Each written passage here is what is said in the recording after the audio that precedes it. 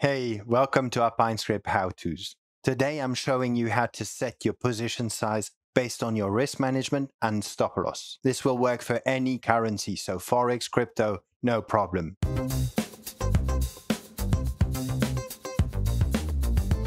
The first step is to configure the strategy header properly, or should I better say, what not to set in the strategy header. And you shouldn't plug in any default quantity value nor default quantity type. The amount that we'll use for each trade will be computed directly in the trade entries. I'll show you that in a minute. You may have noticed though that I have a currency called currency.none in the strategy header here. This is simply to signal TradingView to display all the results in the quote currency automatically. And in this example, it is US dollars. As you can see here, for example, in the strategy tester, my results are given indeed in USD but this is actually the default value. So you don't actually need to write that down. This would suffice. Let me do a control S and show you that indeed you get the US dollar here. Great. The reason why I wanted to highlight that is that say, for example, you want TradingView to convert all the results displayed in a different currency, you could change it here. Say, for example, I wanted to see my results in euros, then this is what you should do here. There we go. You see euros here as well. But that doesn't mean that the positions are entered in euros. No, not at all. This always remains the quote currency. This is what you're trading with. The initial capital is still in the quote currency. It's only a question of display and TradingView does automatically the Forex conversion. This doesn't stop to Forex. Of course, I could have chosen another cryptocurrency if I wanted the display to be different. As you can see, we have ETH now here as well. Great. Now we can move on to the computation of the position size.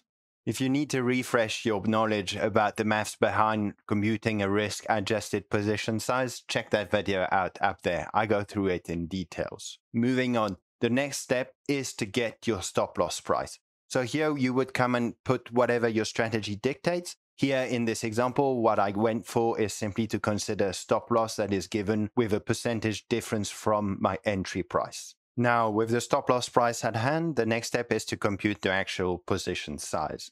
So the number that you see here refers to a percentage. Having written 0.01, it means I am willing to risk only 1% of my capital on each trade. Said differently, if a trade goes against me, I will lose only 1% of my capital. Then the next lines, you don't have to change anything. This one is what I call the distance to stop loss. So it is nothing but the computation of the difference between the entry price minus the stop loss price, where I make sure that the result is given as a positive number, thanks to the absolute value here. And the following line is actually the computation of the amount to enter the trade with, where you can see it is this value at risk times strategy.equity, which is basically the amount of capital that you have, divided by this distance to stop loss. Nice. All we have left to do now is to configure the entries properly.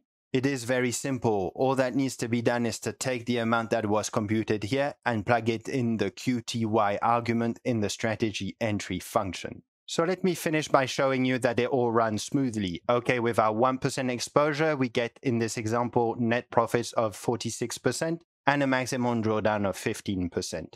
Okay, if we now double our exposure and go for 2%, what we're naturally going to obtain is that indeed our net profits increased here to 106%. That makes sense. We are now engaging more funds in each trade. But what comes with that is that also the maximum drawdown increases 27% now. That's it. I hope it was clear. I will put this code on our GitHub so you can grab it for free. Links below. And if you found this content helpful, don't forget the little like and possibly subscribe. See you soon and take care.